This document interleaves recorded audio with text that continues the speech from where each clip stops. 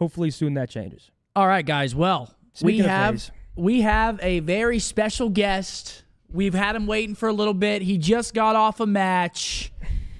It's the Ferris wheel. Tyler Abezy.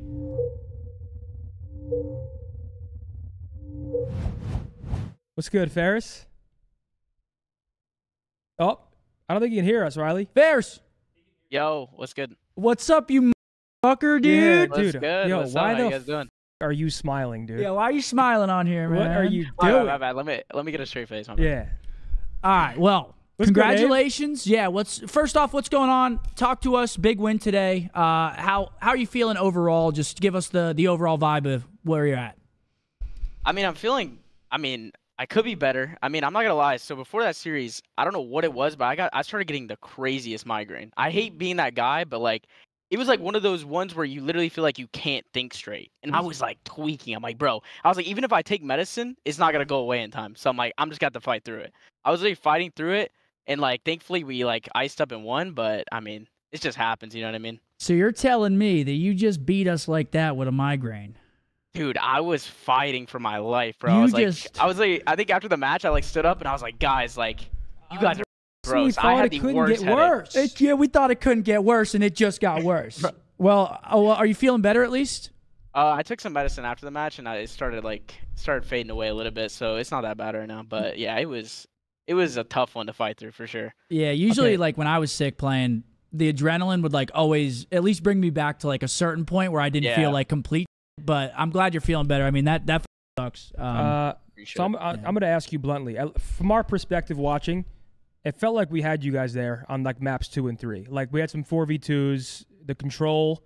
Uh, there was one time where you guys killed Ant off the point off the last second and lost like a 9v4. How does it feel as a player? Like, does it feel like we kind of choked a bit? Does it feel like you guys clutched up, mix of both? Like, from your perspective, is it like they just trolled or is like, just talk me through it? Oh, I mean, I mean, after we after we won the round, we are like, oh my god, they just choked. Like we were literally like, we were like hyped because we knew that like winning that round would still give us a chance to win the map. You know what I mean? Like we are like, if we go down, if you go down, if you lose an offense on that map, it's gonna be really hard to like bring it back because you probably have to win an offense, and even if you win that offense, you might get like another offense like round five. So winning that round like kind of helped us, you know, maintain that composure to like know that we could still bring it back and win. yeah, it just I laugh. It's it's so hard. To, it's so hard to hear you say that. Like they just choked. I mean, it, realistically, it was it was back and forth all series. There were so many clutches by you guys. I gotta ask, like, just as a team, how do you guys continue to do this? Uh, not only against us and our team, but literally against every team. You guys always seem to have very calm and cool heads in the clutch moments. Uh, would you attribute that to anything? Like how how are how are the comms in those tight situations? I mean, sometimes our comms do get hectic, but I feel like we're so good because I think a lot of people hear our comms from an outside perspective and they like like, wow, their comms are insane. Like they're super fast, but I feel like we're all really good at like still hearing, you know, everyone even when they do get that hectic. But I mean, um, I mean, it's definitely nice to, you know, have that ice. I feel like as a team because I feel like we've always kind of had that ice, uh, in clutch moments and matches. Um, but yeah, I mean, I, I it's pretty it's pretty dope that we have that. Yeah, I mean, It I've felt the ice. I've it's it's they're icy. They're I mean, pretty yeah, icy. dude, you guys are all right. Yeah. Uh, it sounded so. We got to listen on Six Star. For a bit, it sounded like Cellium, my boy MC, was not a full blown IGL, but he was like really like sort of really out there getting vocal. He's like, "Yo, pick up pinch, get this." Like, how has his comms? Because I, I can't lie, I think years ago he was you couldn't even understand the guy. Like I, I genuinely think like in old listenings you couldn't understand him.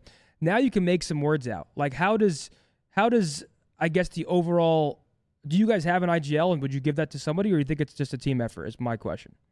I feel like with us, it's usually a team effort. I mean, bringing Zach on our team, I feel like he brings that like confidence and just like composure because he just is like always locked in. You know what I mean? And I feel like MC, like his comms have definitely gotten better over the years. Um, I feel like he's worked on it, obviously, like individually, and because I mean, he definitely comms super fast. Like sometimes we're like, oh my god, because Yeah, like he he's- he in those hype speed. moments, he's just you know spamming comms, like spamming.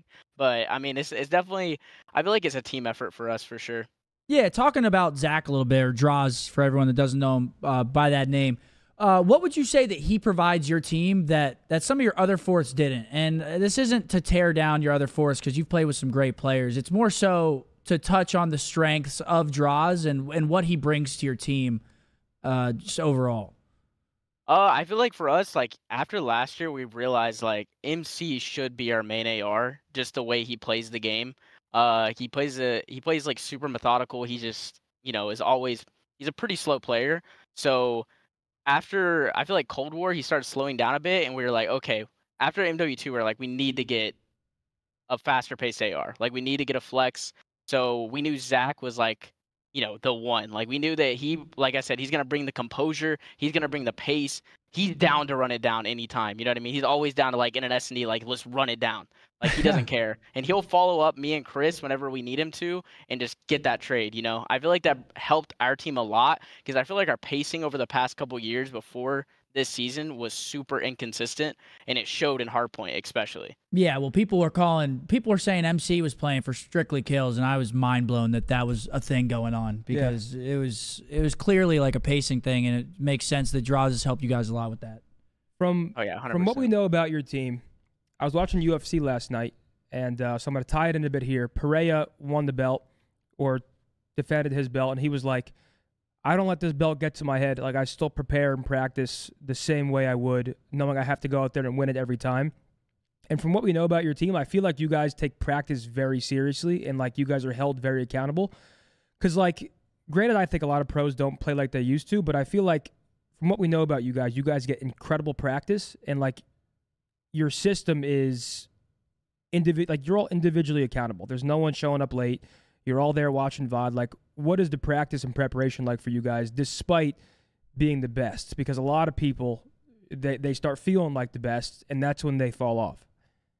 Yeah, I mean, for us, I feel like we know that we always have to put in that 110% effort, you know, in practice, anything, because if not, like you said, like you're going to falter. Like there's going to be times where you're going to falter for sure.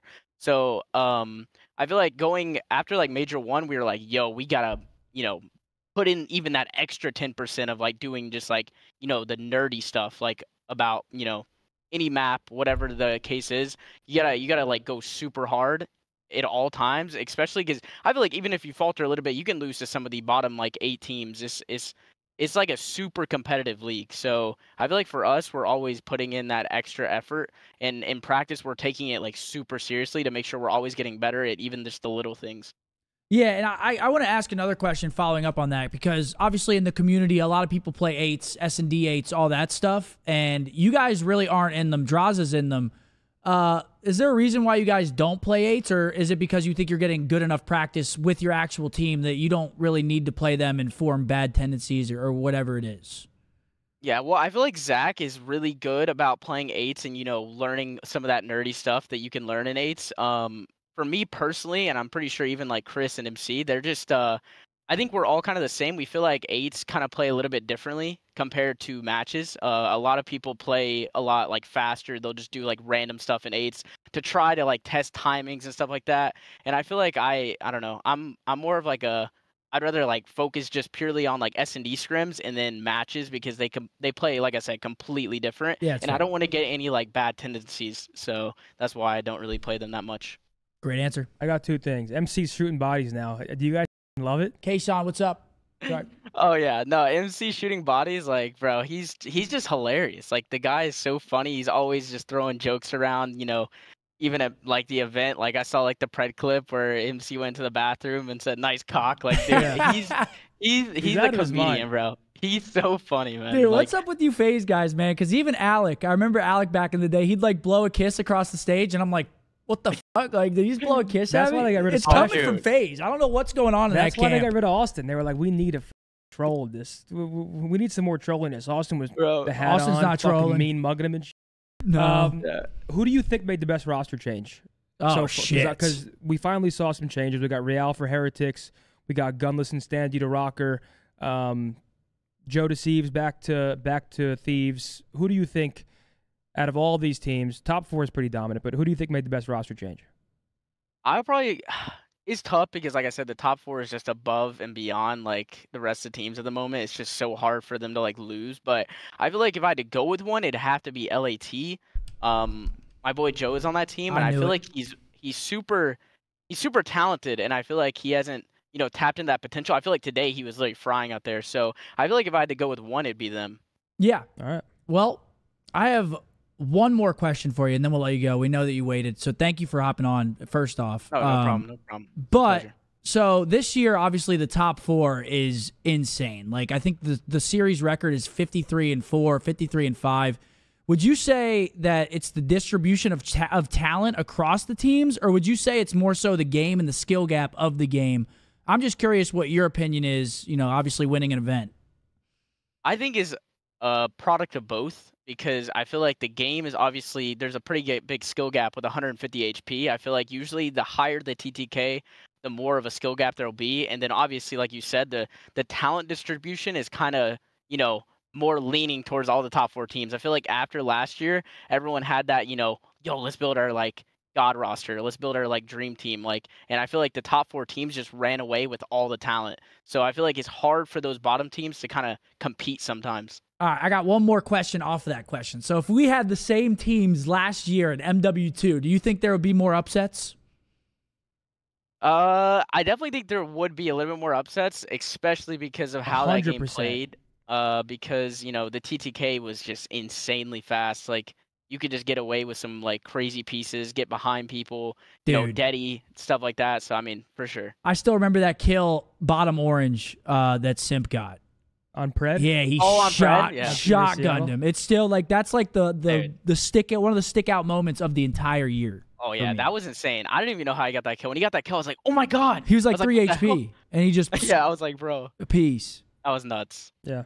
You got anything else, or should we let Abe go? I don't, man. Just congratulations on the major two win, Hey. and and I mean you guys you guys look undeniable right now. So Yeah. uh, I mean you've been dominating since coming on through. So I'm done glazing you.